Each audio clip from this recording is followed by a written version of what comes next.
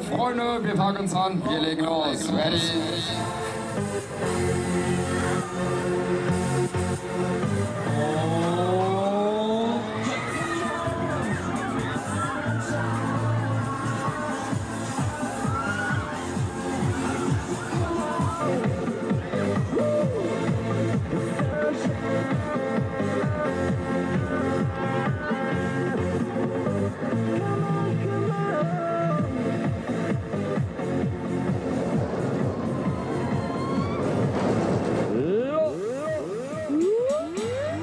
Let me hold you in my arms forever, forever.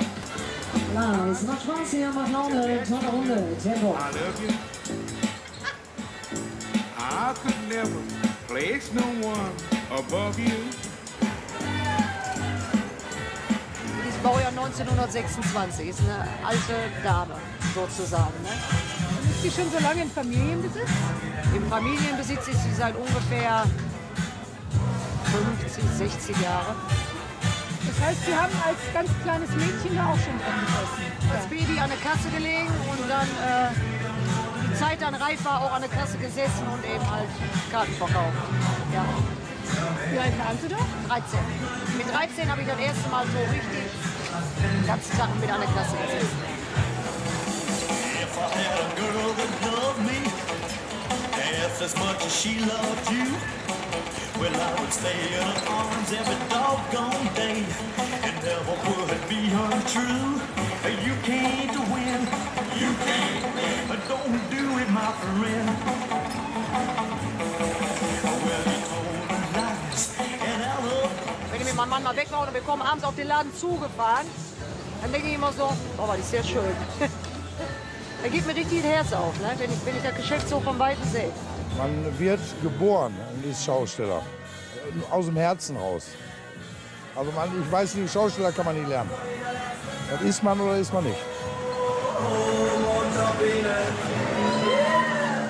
Ja, aber ich finde das Weiß von innen zu hart. Das ist ja gar nicht richtig weiß. Das ist ja auch ein abgetöntes Weiß. Das ist kein Ja, aber Hartweiß. du wolltest doch Muster haben, oder nicht? ist doch Muster. Oh, ja, hier. Gibt es auch noch andere Muster oder nur, was ist denn da drauf? Zeig mal. Was, wo? Auf der weißen. Auf der weißen? Ja, das ist das. Das Muster. Oder das für eine Küche hier? Braun und Grau finde ich jetzt auch nicht schön. Das sieht aus wie vergilbt, ne? Ja, Hier, ein Ton heller. finde ich besser. Ja, das ist immer noch nicht. Ich finde dieses Moret finde ich schöner hier. Ja. Richtig weiter bin ich jetzt immer noch nicht. Zeigen Sie uns mal Ihren neuen, schönen Wohnwagen. Unsere Küche. Ich habe endlich mal eine große Küche. Und ich habe meinen Apothekerschrank, der mir sehr, sehr wichtig war, weil da passt reichlich rein. Ich habe mein Weinregal. ja, hier ist unser Badezimmer.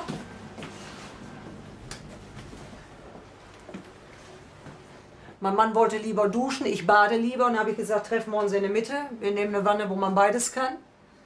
Und dann haben wir die halb gefunden und ich fand die ja, optimal. Ne? Und unser Schlafzimmer. Sie dürfen mal gucken. Also Mit Einbauschränken. Ja, wir haben super Einbauschränke. Da bin ich ganz happy mit. Ich finde sie einfach nur genial. Und da passt richtig was rein. Und die ganzen haben wir zweimal. Prima. Also Sie sind glücklich, merke ich. Ja. Ja, ich habe, glaube ich, so ein, seitdem wir hier drin sind, einen Rundumstrahlen. Ich fühle mich richtig wohl. Ich habe auch wirklich, wenn so ganzen Stunden an der Kasse und wenn dann Feierabend ist, dann brauche ich auch Ruhe. Da möchte ich wirklich nur Ruhe haben. Reinkommen, hinsetzen und erstmal runterfahren.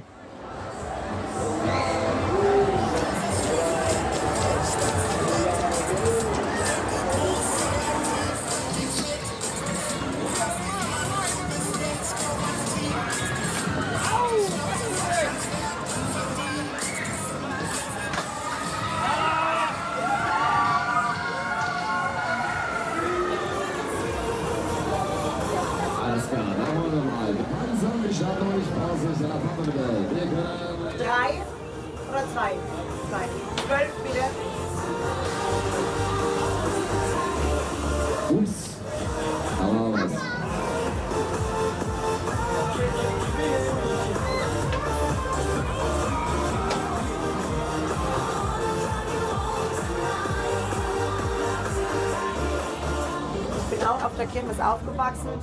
Ich komme aus einer Familie mit zwei Autoscooter und ähm, habe das daher von klein auf auch schon alles mitgekriegt. Es gibt äh, Fotos, da habe ich in den Autoscootern geschlafen. 12 Euro bitte. Ich war in der Grundschulzeit, war ich bei meiner Oma, war dann am Wochenende immer bei meinen Eltern und später war ich dann im Internat, aber auch jedes Wochenende und in Ferien immer vor Ort am Geschäft bei meinen Eltern. Was ist das Faszinierende an diesem Leben? Die Abwechslung, der Umgang mit den Menschen. Es ist eine Sache des Herzens. Es, ist, es lässt sich ganz schwer erklären. Es gibt keine richtige Erklärung dafür, warum man es sich antut, so viele Stunden. Und es ist einfach eine Sache des Herzens. Es ist eine Entscheidung des Herzens, den Job zu machen. Und ich glaube, man kann es auch wirklich nur, wenn das Herz dabei ist.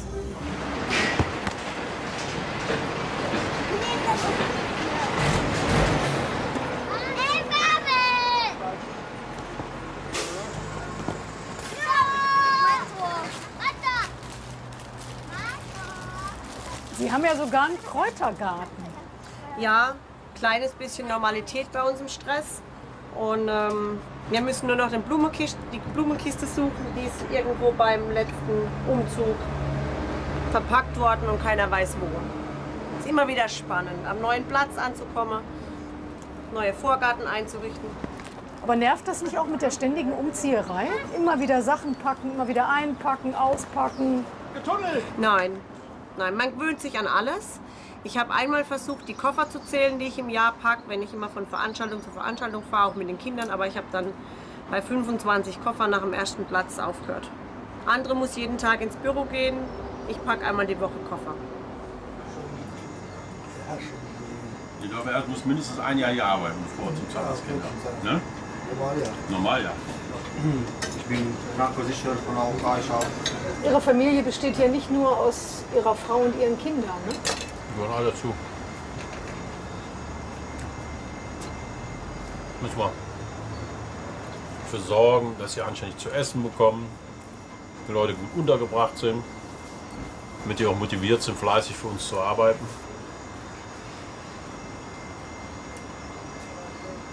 Ist ja nicht selbstverständlich, dass man äh, jedes Wochenende arbeitet, wenn die anderen Leute frei haben, wenn andere Leute feiern geben. Also es ist sehr schwierig, gutes Personal zu bekommen. Und wenn man dann gutes Personal hat, dann muss man natürlich auch im Gegenzug für seine Leute was tun. Sonst bleiben die nicht. Ne? Dann sind die ganz schnell weg. Und dann habe ich ein Problem. Ja.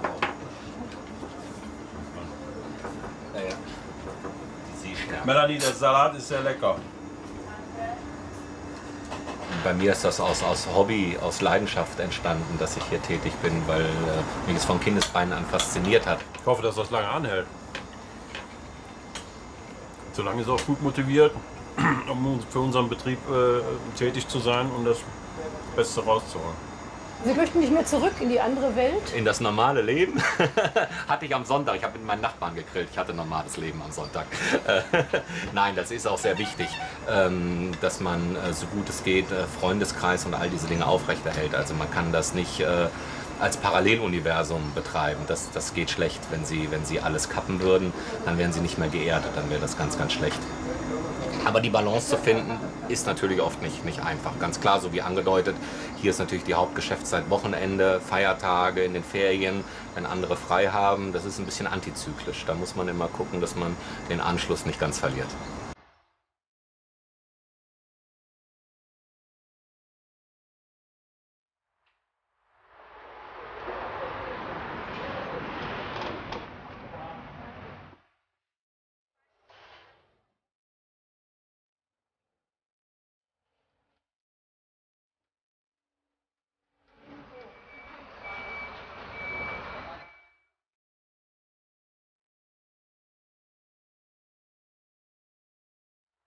Wie war das denn früher mit der Schule zum Beispiel? Sie sind ja dann wahrscheinlich auch mit Ihren Eltern von Kirmes zu Kirmes gezogen. Ja, Ne?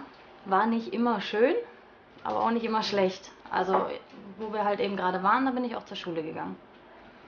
Zu guten Zeiten waren das dann auch mal so 15 bis 20 Schulen im Jahr. Also, äh, erst war immer komisch, also wenn man dann wirklich fremd so in so eine Klasse reinkommt mit Leuten, die man nicht kennt, man weiß nicht, wie reagieren die auf einen. Und kommst dann da rein und dann bist du so die Doofe. Da musst du dann nach vorne, stell dich mal vor, ja hallo, ich heiße Mandy, ich bin von der Kirmes. So, entweder hast du dann Glück, die fanden die Kirmes ganz toll, dann warst du dann der Held. Oder die fanden dich gar nicht so toll und dann hattest du eine ganz schön schwere Woche da. Wurde man dann geärgert und nach hinten gesetzt, weil man weiß ja sowieso nichts, also schon mal direkt ab nach hinten. Zwischendurch haben die dann gefragt, ähm, ob ich noch in der Hängematte schlafen würde. Da habe ich gedacht, äh, hm, Hängematte. Ja, wir haben auch fließendes Wasser. Ja, wo wir uns auch waschen. Ne? Ja, richtig. Aber war das so, hatten Sie manchmal so ein schlechtes Gewissen, weil so irgendwie so, weil das ein bisschen schwierig für die Kinder und so auch war? Nö. Nö. Nö, da müssen sie durch. Also, ich musste auch zur Schule. Ich glaube, Schule äh, ist für viele nicht so schön. Aber äh, muss sein. Und meine Tochter hat das eigentlich sehr gut hingekriegt. Die war mit Klassenbeste und hat prima geklappt. Mein Sohn ist nicht so gerne zur Schule gegangen. Gab nie eine Zeit, wo Sie sich mal nach was anderem gesehnt haben, mal nach was Geregeltem, was Normalem? Nö. Hört sich blöd an, ne? aber ist so. Nicht? Nö. Ich wollte mal eine Zeit lang Prinzessin werden. Prinzessin? Prinzessin. Prinzessin? Ja, oder nicht? Prinzessin ist doch ein toller Job. Also ich wollte ganz früher als Kind, wollte ich immer einen Zirkus haben. Also wir sind im Winter drei Monate zu Hause, da kriege ich einen Rappel. Bin froh, wenn wir wieder rausfahren. Also so drei Monate an einem Stück am selben Ort ist furchtbar. Haben Sie ganze Arbeit geleistet? Schön gemacht, Ja. Hirnwäsche. Ja, das ist bei mir auch so. Gab es mal so Momente, wo es genervt hat, dieses ganze Schausteller-Dasein? Ach, ich meine, logisch, wenn du hast den ganzen Brassel am Kopf und dann hast du so einen Platz, wo du wirklich drauf setzt, wo du dann auch meinst, da kommt jetzt was rein und dann vor sieben Tage und sechs Tage regnete dann, dann denkst du natürlich, meine Güte, den ganze Brassel und am Ende wofür? Ne? Also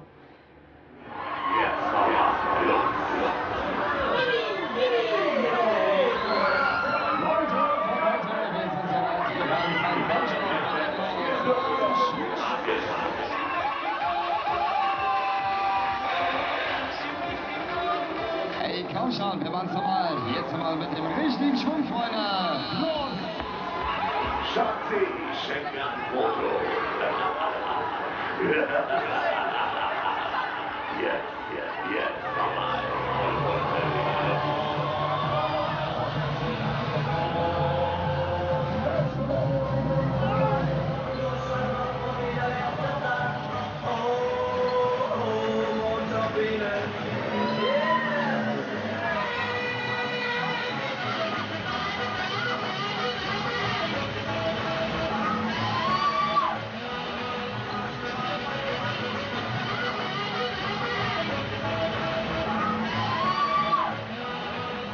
Die erste Liebe mit zwölf? Ja.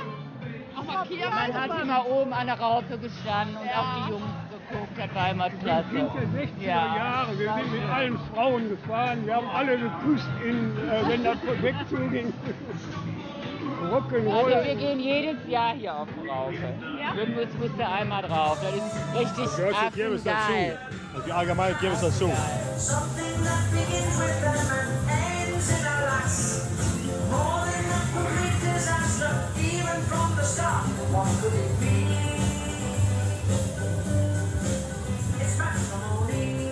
Haben Sie Ihre Frau eigentlich auch zum ersten Mal in der Raupe geküsst? Äh, nein, um Gottes Willen, mein Schwiegervater war ja noch da.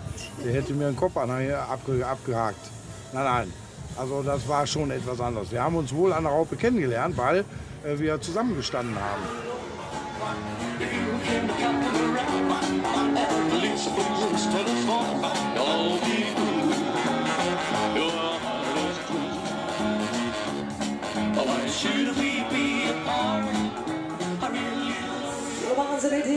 Noch einmal zusteigen, anschließend anzunehmen. Auf geht's.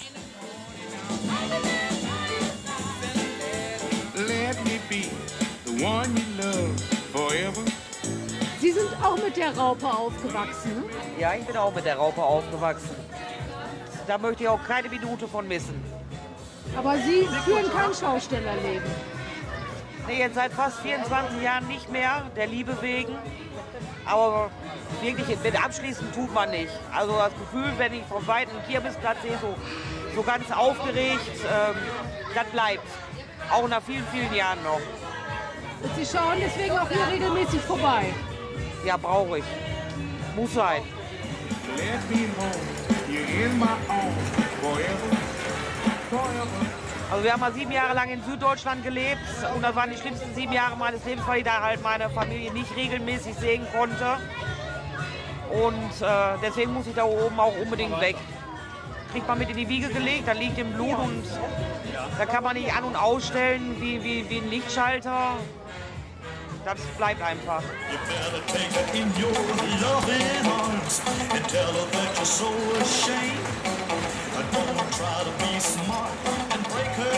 Hello Kitty wird's gleich schwindelig. You can't win, you can't win. Don't do.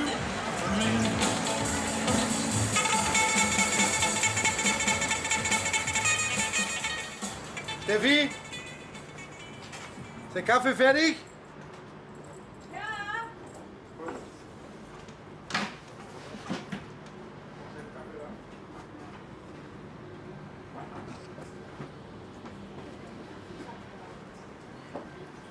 Oh, gibst du mir mal meinen Schlag? Hier. Schlag hat einen Motor. Dann waren wir gerade bei Tante Heike. Direkt, also das ist für, für einen Geburtstag vorträglich, weil sie sieht sie ja nicht an ihrem Geburtstag, hat sie. Danke, hast du gesagt. Danke Hallo, mein gesagt. Ja, das nehme ich. Sind die lecker? Lecker? Gut. Dankeschön.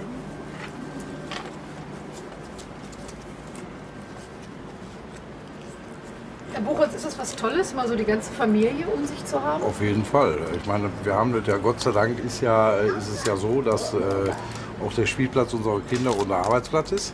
Ja? Und ähm, das ist schon, ist schon was Besonderes, wenn du dann einfach nur rufen brauchst und brauchst nicht erst abends nach Hause zu kommen. Ne?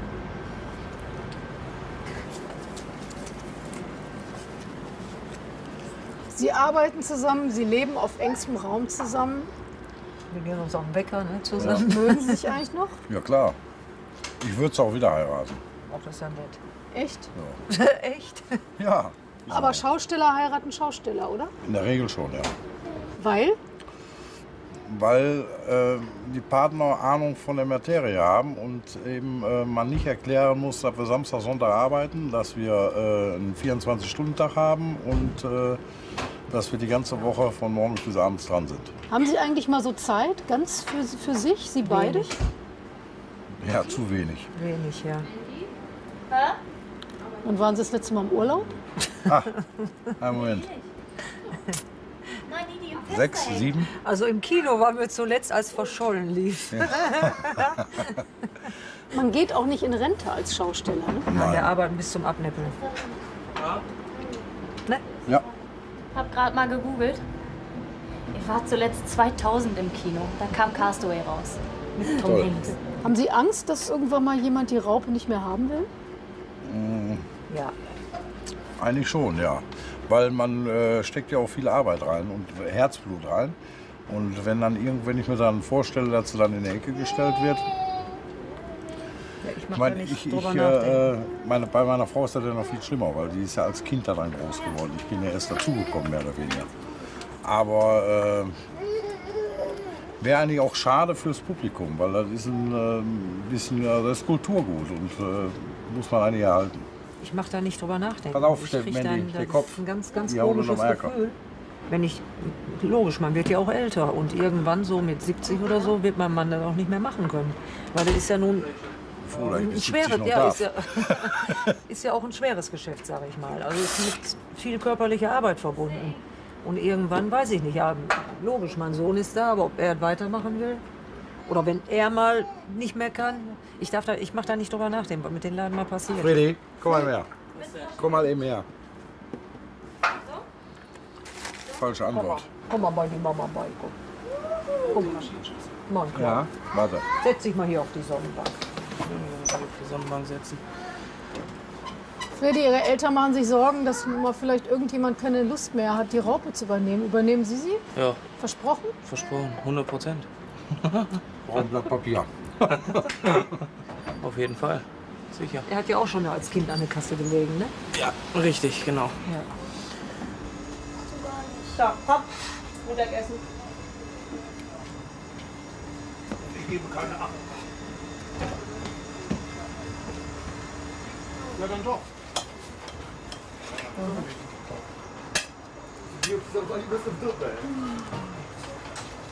Wie war es in der Schule? Gut, alles okay?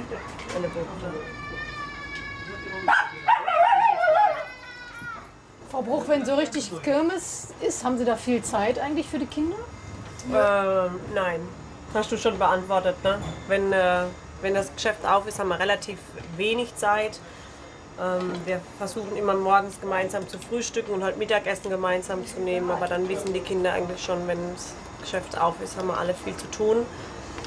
Dadurch haben sie aber auch sehr früh eine gewisse Selbstständigkeit und, und Unabhängigkeit von Mama erreicht und von Papa.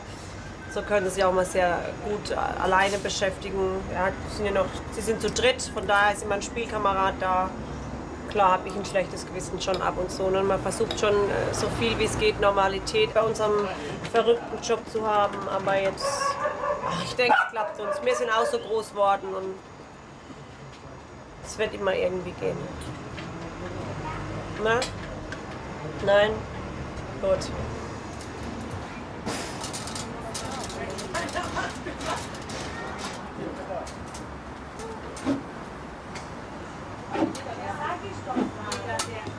Nervt eine Kirmes auch manchmal? Ja, klar, normal.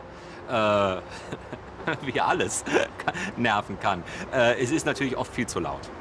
Ganz klar. Wenn Sie den ganzen Tag hier sitzen und Sie haben immer diese permanente Geräuschkulisse, Sie haben den Krach und damit meine ich gar nicht so sehr die äh, Jubelschreie der Besucher, sondern einfach ein Fahrgeschäft gegenüber, was sehr laut ist. Wenn Sie, wenn Sie dann nur diese Bässe ständig hören, all diese Dinge, das kann Ihnen schon unheimlich äh, gegen den Strich gehen. Das ist, tut manchmal auch körperlich weh.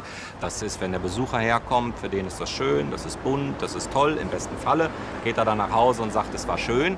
Aber für alle Menschen, die hier leben und arbeiten, äh, ist es schon oft sehr entbehrungsreich, keine Frage. Aber es gibt auch viel zurück, sonst wären wir alle nicht hier.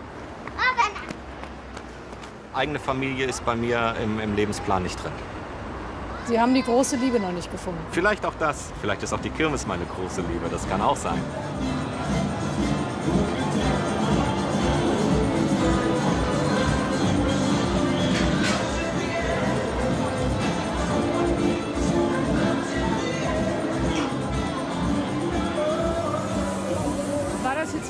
Heiratsantrag? Ja.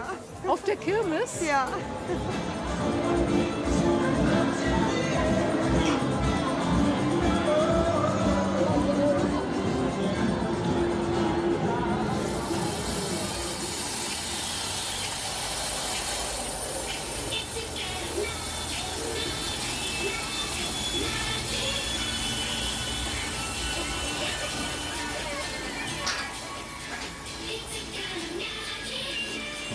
Oft haben Sie Momente, wo Sie sich einfach mal hinsetzen und gar nichts machen? Wenn der WDR da ist. Entschuldigung. War spontan. Ähm, selten. Selten. Aber ich. Natürlich gibt es auch Momente, wo man einfach glaubt, oh, es geht nicht mehr, ich kann nicht mehr, ich muss einfach nur mal eine Mütze Schlaf oder so kriegen. Ähm, sicherlich stibitzt man sich ab und zu mal eine, ein bisschen Zeit raus, um mal einen Kaffee mit einer Freundin zu trinken. Ähm, aber es ist natürlich sehr schwer.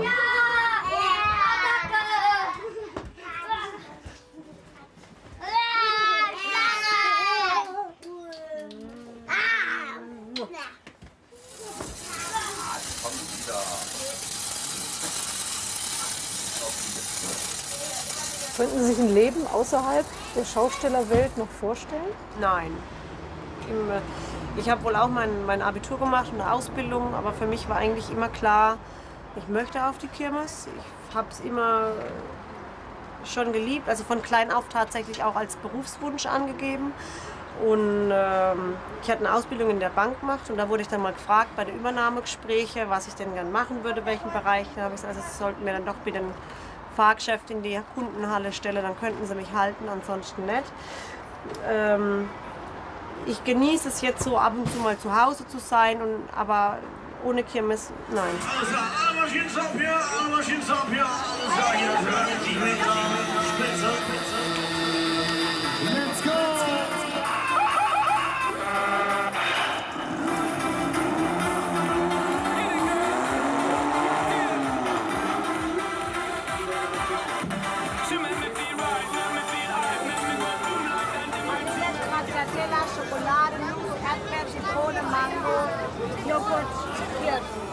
Mango, Mango.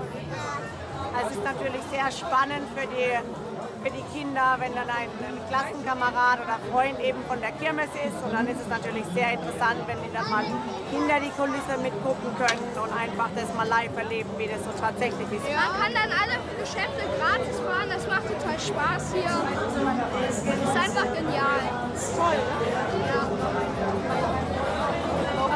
Beneidet ihr den Robin schon ein bisschen, ne? Ja, aber auf Dauer ist das ja auch schon ein bisschen stressig. Wenn man ja die Eltern dann nie hat. Und so. Das ist nicht nur schön, ne?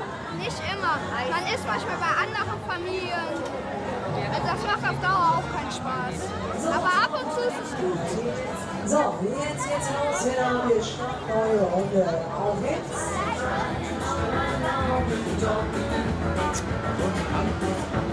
So, und es geht los. Und wir machen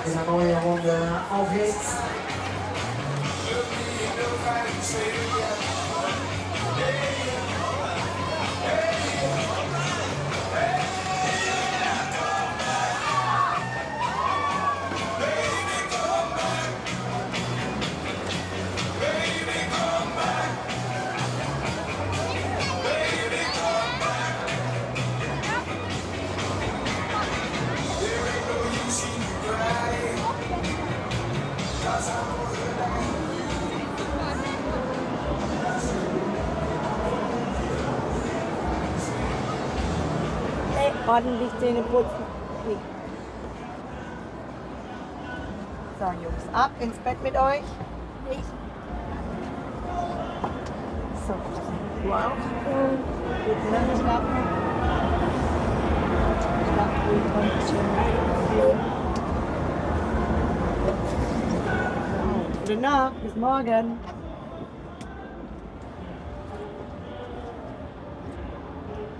wenn dann rum ist, wenn die zehn Tage Düsseldorf rum sind, dann kommt mal so ein Tag, wo man denkt, oh, nur noch schlafen bitte. Aber dann ein Tag Erholung und dann geht es auch schon wieder fleißig weiter. So, Freunde, wir waren es noch ein letztes Mal, bitteschön. Natürlich, komm schon, die letzte Rave.